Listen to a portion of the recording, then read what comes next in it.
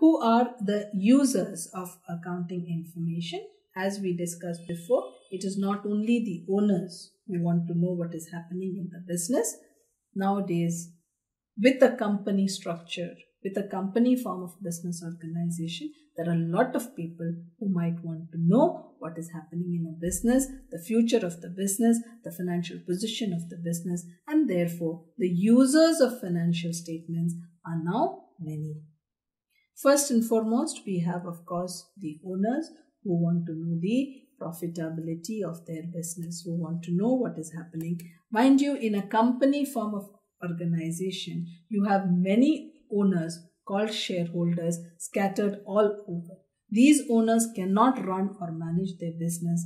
They appoint a management team, a board of directors through which the management of the company is run. So the owners are different, managers are different. So the owners, owners need to know whether how the business is performing, whether the managers are taking good care of the business or not.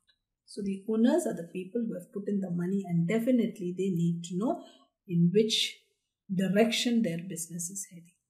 For the management, again, the financial statements are a reflection of their performance.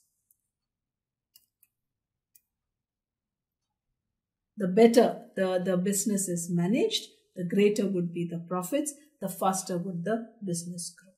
Similarly, employees are also interested in the financial statements. They are a part of the organization. They want to know their future, how secure their future in the company is.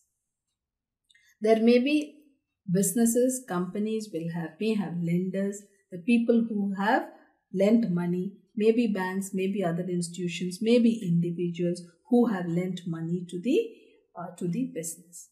They too would want to know what is the uh, position of the company, how well it is performing, and whether the funds that they have given to the company are being made good use of. Similarly, creditors.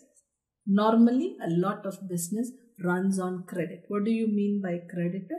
Suppliers who have given materials and money has not yet been paid to them because they would be paid after two months, three months, six months. That is the arrangement with the company. They are also very keen to know, be assured that they will definitely get their money back. It is, it is wise to extend credit. It is okay to extend credit to this particular business.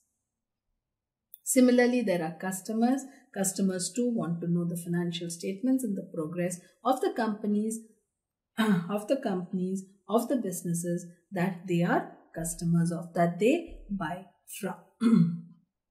Government agencies, the income tax authorities, other regulators, etc., would all be interested in the financial statements of the company.